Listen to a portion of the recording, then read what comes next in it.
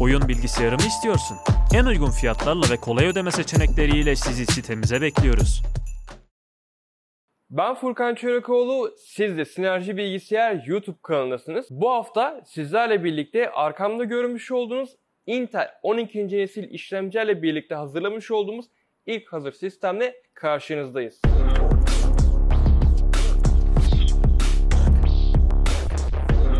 Yeni bir altyapı, yeni bir mimari ve yeni DDR5 RAM desteğiyle birlikte karşınızda çok yeni bir hazır sistem ve altyapı, ekosistem bulunuyor.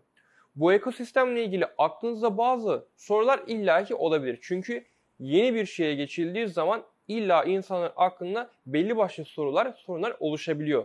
Ben sistemi yenilemeli miyim? Elimdeki DDR4 RAM'lerle yeni bir sistem kurmak istiyorum ama bu da 12. nesil işlemcilerle birlikte olsun istiyorum gibi bazı sorular olabiliyor. Burada size bu videonun devamında birçok şeyin detaylarını verip birçok şeyden de haberdar edeceğim. Bu sebepten ötürü videonun tamamını dikkatle dinlemeniz çok önemli. Şimdi DDR5 anakartlar ve DDR4 anakartlar var. Özellikle Intel Z690 serisinde DDR4 ve DDR5 RAM'li olmak üzere iki farklı konfigürasyon var. Mutlaka ama mutlaka bir hazır sistem alırken, bir anakart seçimi yaparken özellikle Z690 yapıyorsanız sondaki D4, DDR4, DR4 tarzı kodlara mutlaka dikkat etmeniz gerekiyor. Eğer Z690 bir anakart alıyorsanız Intel 12. nesil işlemcilerle birlikte eğer sonunda D4 ile ilgili bir ibare varsa, DR4 gibi bir ibare varsa bu DDR4 destekleyen RAM olduğunun anlamına geliyor. Intel'in 12. nesil işlemcileri aslına bakarsanız hibrit işlemciler. Bir önceki senelerde 10. nesilde, 11. nesilde Intel i7'de genelde 8 çekirdek oluyordu. Intel'in yeni çıkartmış olduğu 12. nesil işlemciler hibrit işlemciler. Bu işlemcilerin çekirdeklerin bir kısmı performans, diğer kısmı ise verimlilik çekirdekleri olarak adlandırılıyor. Bu hibrit stilde ise asıl amaçlanan şey hem performans hem de verimlilik. Örneğin siz stratejiyi kullanırken yine bu verimlilik çekirdeklerini kullanırken özellikle optimize edilmiş oyunlarda, özellikle optimize edilmiş programlarda sisteminiz hem bu performans çekirdeklerini kullanıyor hem de verimlilik çekirdeklerini de kullanabiliyor. Yani normal şartlarda 11. nesil işlemcilerde 10. nesil Intel işlemcilerde 8 çekirdek varken bunlarda 12 çekirdek var. Fakat bu kullanmış olduğunuz verimlilik çekirdekleri de iyi optimize edilmiş programlarda tam performansla çalışabiliyor. Fakat şunu da altını çizmek istiyorum. Performans çekirdekleriyle verimlilik çekirdekleri aynı saat hızlarına sahip değiller. Şöyle yani evet temelde bas frekansı aynılar fakat bu boost clock hızlarında Intel performans çekirdekleri çok daha yüksek hızlara çıkarken verimlilik çekirdekleri o kadar fazla çıkamıyor. Eğer bizi daha önceki videolardan beri takip ediyorsanız mutlaka bilirsiniz. Bu kanaldaki bütün videoları ve sosyal medya içeriklerimizin hepsinin video kurgusunu, tasarımını vesairesini ben yapıyorum. Kullandığım video kurgu programı Adobe Premiere. Adobe Premiere'de kullandığım işlemcide bu tarz bir performans ve verimlilik çekirdekli tarzı bir şey olmadığı için normal standart performansında kullanıyor. Fakat yeni Intel 12. nesil işlemcilerde örneğin e, timeline hızlarında timeline oynatma ön izleme yani 4K 4221 videoyu attığınızda bu performans çekirdekleri ve verimlilik çekirdekleri o timeline'ı çok daha verimli bir şekilde oynatabilecek. Yani çok ağır videolarda, çok ağır işlem görmüş videolarda çok daha verimli çalışacağını söyleyebiliriz. Ama tabii burada yine altını çizmek istiyorum programın optimizasyonuna bağlı olarak değişecektir. Yani illa Adobe Premiere'de böyle mükemmel şekilde çalışacak, mükemmel hızlandıracak diye bir şey yok. Bu vaat edilen, söylenen, taahhüt edilen şeyler. Adobe Premiere'de işte e, bu şekilde timeline'ı hızlandırmasa bile normalde siz performans çekirdeklerinizi Adobe Premiere'i kullanırken illa arka planda müzik programı kullanıyorsunuz. Yani Spotify'dan bir müzik dinliyorsunuz. Veyahut da işte Edge'den, Chrome'dan vesaireden mutlaka arka planda bir şey çalışıyor veya Discord'dan arkadaşlarınızla konuşuyorsunuz bir iş yaparken.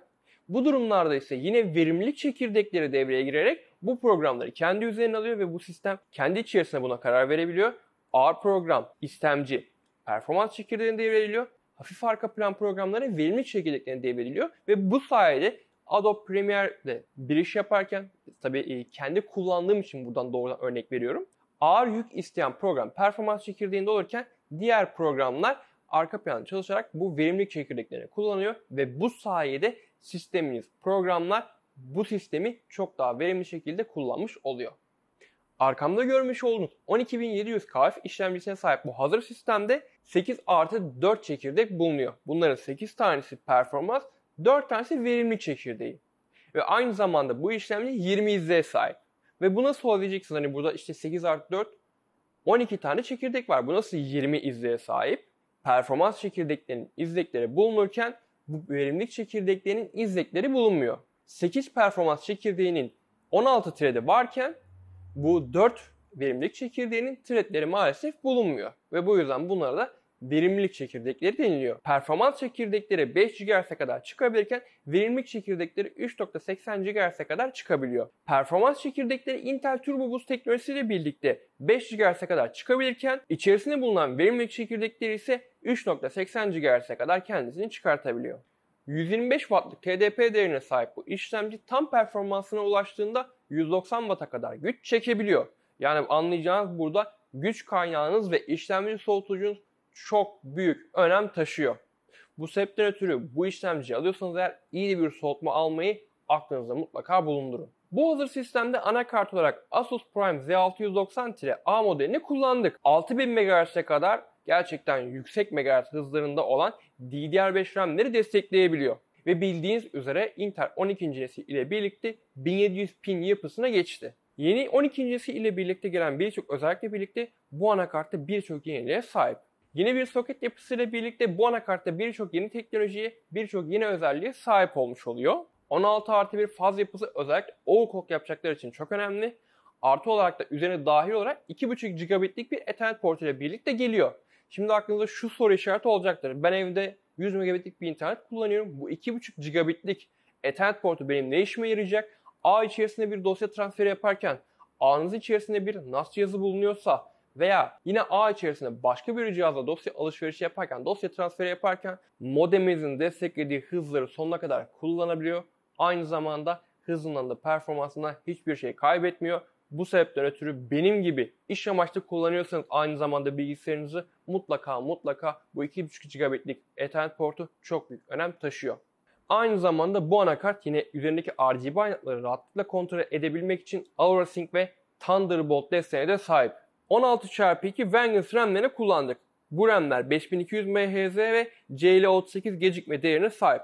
Akıllarda bir soru daha oluşuyor. Biz DDR4 RAM'lerde CL15, CL16, CL17 en kötü bu gecikme değerlerini kullanırken bu sistemde CL38 gecikme değerine sahip. Yani aklınızda bu RAM'ler çok daha yavaş çalışıyor mu? Acaba muadil bir DDR4 RAM'le arasında bir performans kıyaslaması yapıldığı zaman e, daha yavaş kalıyor mu, daha düşük performans veriyor mu gibi sorular mutlaka aklınıza gelecektir. Fakat DDR5 RAM'ler doğrudan çift kanal band genişliğine sahip olduğu için burada düz mantık ile düşündüğümüz zaman birinde tek kanal var band genişliği olarak diğerinde bunun iki katına kadar band genişliği arttırılmış. Burada CL38 gecikmeleri CL DDR4'lerde CL19'a denk geliyor gibi düşünebiliriz ama başka bir videoda mutlaka ben bunu deneyeceğim. Acaba DDR5 RAM ile aynı hızda çalışan bir DDR4 RAM bu gecikme değerinden dolayı daha yüksek performans verecek mi? Bunu da mutlaka başka bir videoda test edeceğiz. Bu yüzden hemen aşağıdan kanala abone olup bildirimleri açmayı unutmayın. Hızdan, band genişliğinden bahsederken SSD'den bahsetmezsek olmaz. Bu sistemde Corsair'in 1 TB'lık MP600 NVMe SSD'sini kullandık. Bu Gen 4 bir SSD. Saniyede 4700 MB okuyabilirken saniyede 1950 MB yazabiliyor. Gördüğünüz gibi bu hazır sistem içerisinde Asus'un RTX 3080 versiyon 2 modelini kullandık. Gerçekten Asus Strix serisinde mükemmel bir soğutma çözümü kullanılmış. O yüzden yani şu anda arkamızda sistem çalışırken bile gerçekten şu anda arka planda birkaç işlem yapıyor ekran kartına yükleyecek. Ona rağmen şu ortam içerisinde gerçekten çok sessiz çalıştığını hatta ben şu an konuşurken sessizleştiğimde ekran kartının sesini duyamadığımı rahatlıkla söyleyebilirim. Ama unutmayalım bu hazır sistemde ve bu videoda asıl ilgi odamız, asıl göz bebeğimiz Intel'in 12. nesil işlemcisi olan 12700KF. Bu hazır sistemde Asus ROG LC2 sıvı soğutmasını kullandık. 280 mm'lik sıvı soğutmanın üzerinde adresli bir RGB fanlar da bulunuyor. Mutlaka ama mutlaka hazır sistemin performans testi bölümünde işlemci sıcaklığına dikkat kesin. Ve son olarak bu hazır sistemi içerisinde barındıracak olan ve ihtişamıyla tasarımıyla odanızda veya masanızın üzerinde insanların dikkatini çekecek olan kasamızda Asus TUF GT501 ve bu sisteme güç verecek olan güç kaynağı ise Asus ROG Strix'in 850 Watt 80 Plus Core sertifikalı bir güç kaynağı. Hadi gelin bu hazır sistemin performans testine şu arkamda görmüş olduğunuz monitörle birlikte bakalım. Gerçekten ben bu performans testinden çok meraklıyım. İlk defa Intel 12. nesil bir işlemciyle birlikte RTX 3080 ekran kartıyla bir hazır sistem içerisinde test yaptım. Gerçekten çok heyecanlıyım. Sonuçta yeni bir teknoloji. Vakit kaybetmeden yakından şuna bakalım.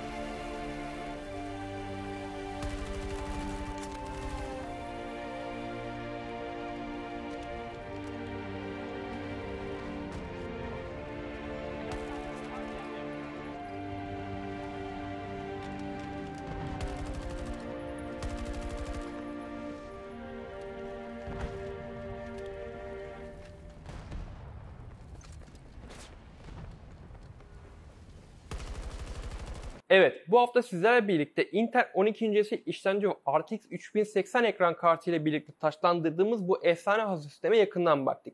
Hem performans testinde hem de özellikler bakımından birçok şeyi, birçok yeniliği size detaylıca anlatmaya çalıştım. Merak ettiğiniz bir soru varsa, merak ettiğiniz bir şey varsa, gelecek hazır sistemlerde olmasını istediğiniz bir test, oyun vesaire bir şey varsa mutlaka bunu aşağıdan yorumlar kısmından bize yazmayı unutmayın.